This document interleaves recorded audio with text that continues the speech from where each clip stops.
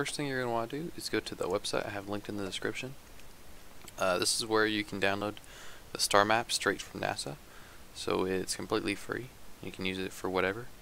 So uh, go to the download and then I would download the 16K and also download the 4K. Once you download those, uh, go back to Blender, go into the shading tab and under the shader editor switch it from object to world. And now that we have that, we're going to want to add our environment texture, plug the color into the background, and open our lower resolution star map. The reason why I'm adding the lower resolution is because we're going to be editing the position of it, and it takes a really long time to update if it's at 16K.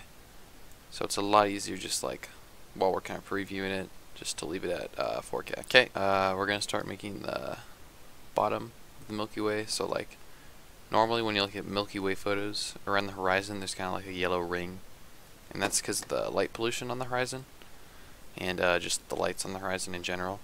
So we're going to recreate that in Blender with uh, nodes. So what I'm going to do is add a mix shader. And I'm going to want to add in a, another background node. And instead of plugging a image into it, we're just going to change it to a light yellow color. Now that we have that, we're going to want to add a color ramp node and we're going to want to plug the color into the factor on the mix shader node. Now we're going to want to add a texture coordinate node and plug in the generated into the vector and then plug the generated into the color ramp. We're going to want to add a mapping node and then uh, click Control C to copy it and then Control V to paste it and then put it on the color ramp. And now that we have that, our node setup is done.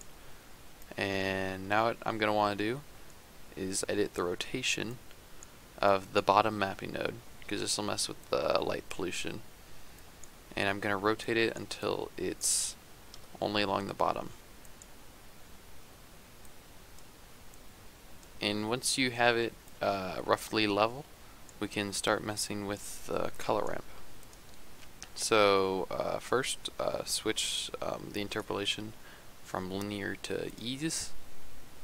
And then what we can do to actually bring the yellow up a bit more is we can actually drag down the white and it'll start moving it up. Uh, the nodes for the Milky Way are done. Uh, basically all you gotta do is add in a couple of mountains, add in some trees, and you've got a nice render. And if you want to know how I made the background environment, like the mountains and the trees, I have a tutorial which I will leave in the end card and uh, at the end screen.